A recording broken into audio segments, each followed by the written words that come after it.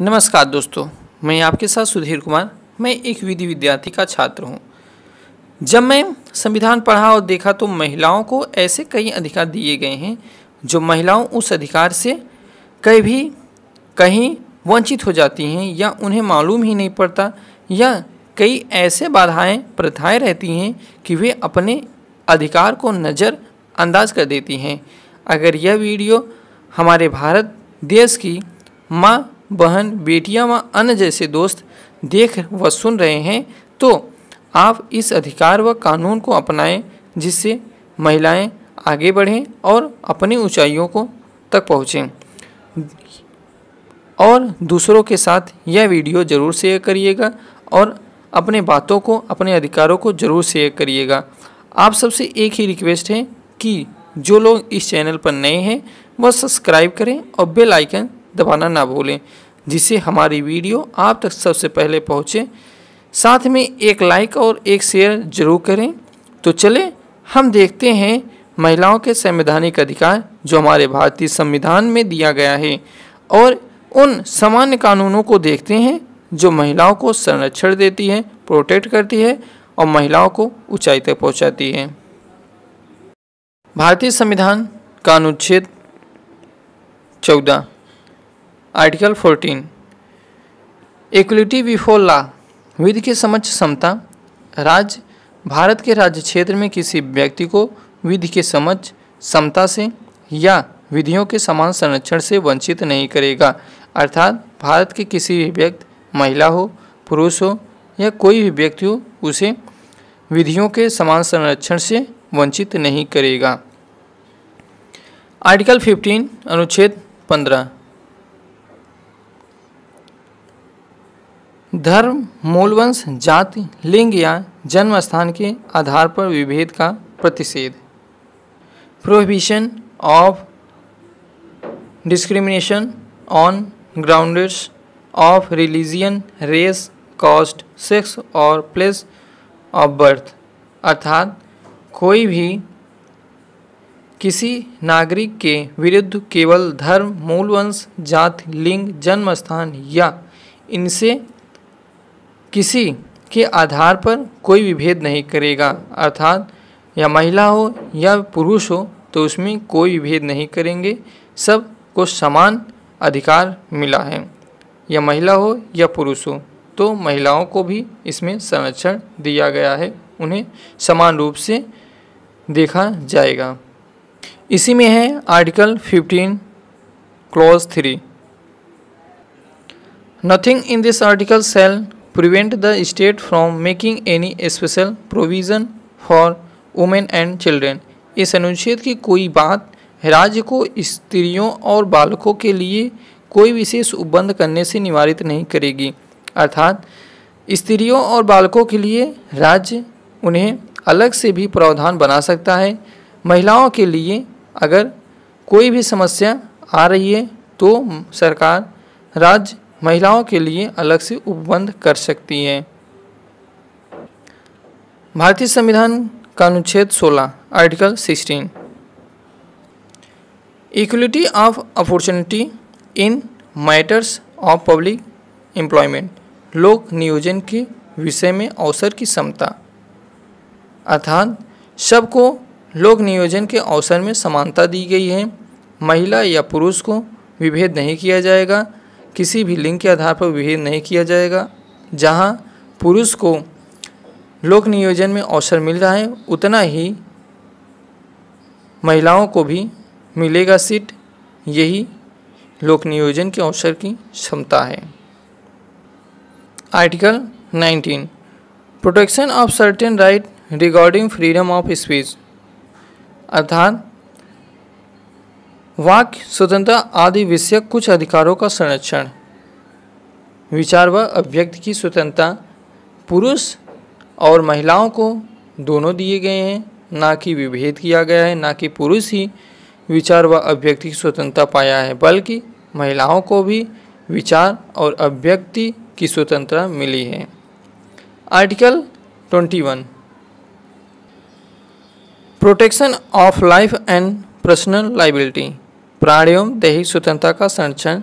किसी व्यक्ति को उसके प्राण या दैहिक स्वतंत्रता से विधि द्वारा स्थापित प्रक्रिया के अनुसार ही वंचित किया जाएगा, अन्यथा नहीं।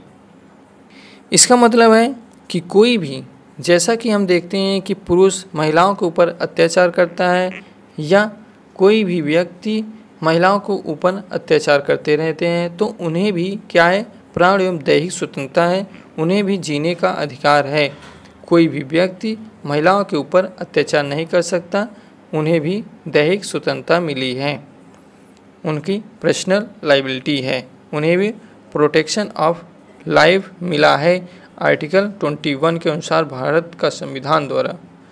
अब हम आगे बढ़ते हैं। Article 15 one clause a to promoted harmony and the spirit of spirit of common brotherhood amongst all the people of India, transcending religious,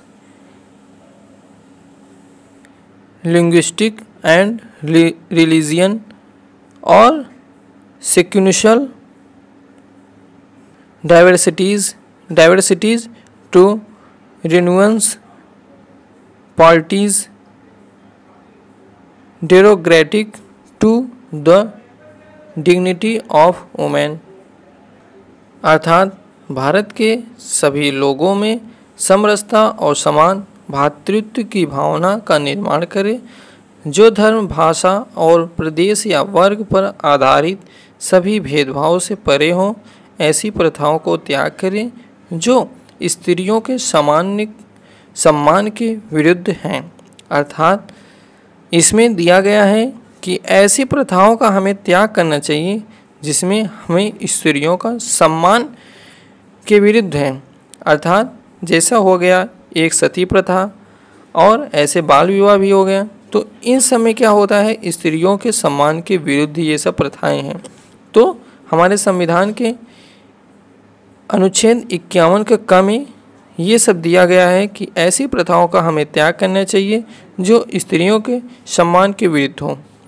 अब हम आगे बढ़ने वाले हैं। आगे, भारत सरकार द्वारा ऐसे सामान्य कानून जो महिलाओं को प्रोटेक्ट संरक्षण देती हैं, उन्हें महिलाओं को आगे बढ़ाती हैं। फ़र्स्ट है, विधवा पुनर्विवाह अधिनियम अठारह सौ छप्पन। इसमें क्या है कि पहले होता था कि विधवा एक बार जो स्त्री हो गई वीडो हो गई तो उनका दोबारा विवाह नहीं होता था। इस अधिनियम में विधवा पुनर्विवाह अधिनियम अठारह सौ छप्पन में जो महिला एक बार विधवा वीडो हो जाती थी उन्हें दोबारा शादी करने का मौका है। वो अपने इच्छानुसार शादी कर सकती हैं। शारदा अधिनियम बा, या बाल विवाह। इस अधिनियम में पहले जो प्रथाएँ थी कि बाल विवाह होते 18 वर्ष या 14 वर्ष की जो लड़कियाँ थीं, स्त्रियाँ थीं, उनका विवाह हो जाता था। बाल जब मतलब बच्चे की उम्र के थे, तभी इनका विवाह हो जाता था। तो इसे रोकने के लिए शारदा अधिनियम, बाल विवाह अधिनियम, इसे 1930 में लाया गया। आगे बात करते हैं, हिंदू विवाह अधिनियम 1955 में बनाया गया। विशेष विवाह अधिनियम दहेज प्रतिषेध अधिनियम 1961 भारतीय तलाक अधिनियम 2017 ये भी एक महिला को प्रोटेक्ट करती है। जब मुस्लिम पति या पत्नी किसी को, किसी एक को तलाक दे देते हैं तो उनका विवाहिक जीवन अस्त व्यस्त हो जाता था। तो इसे रोकने के लिए भारतीय तलाक अधिनियम 2017 आया। घरेलू हिंसा अधिनियम 2005 महिलाओं के यौन यौन उत्पीड़न रोकथाम 2005 इन सब इन सब सामान्य कानून के ज़रिए से महिलाएँ संरक्षण मिलता है और उन्हें बहुत ही सुरक्षा महसूस होता है। तो महिलाएँ अपने अधिकार व सामान्य कानूनों के बारे में जानें और महिलाएँ आगे बढ़ें। महिलाओं को आगे बढ़ाने के लिए सरकार अलग अलग तरह से स्कीम लाती रहती है, योजनाएँ लाती रहती हैं कि महिलाएँ आगे बढ़ें, उन्हें सामान्य रूप से देखा जाए, सम्मान के नज़रिए से देखा जाए और ऊंचाई तक महिलाएँ पहुँचें कि जैसे पुरुष चल रहे हैं, हर एक सेवा क्षेत्र में उसी तरह महिलाएँ भी अपना योगदान दें, पुरुष और महिलाएँ कंधे से कंधे मिलाकर चलें। तो आज की वीडियो यहीं पर समाप्त होता है। अगर इस टॉपिक पर किसी को कोई भी समस्या हो रही है तो आप कमेंट बॉक्स में अपने समस्याओं का समाधान पा सकते हैं। धन्यवाद दोस्तों। दीजिए जय हिंद, जय भारत।